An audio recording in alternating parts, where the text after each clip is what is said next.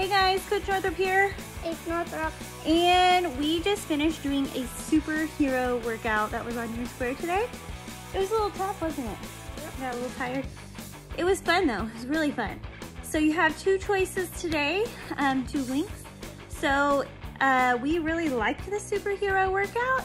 So whichever one you try, you should definitely attach it here so that I can see it. I saw some really good obstacle courses yesterday, which made me really excited. So I hope you have a great day. Get your workout on today, and I will see you later.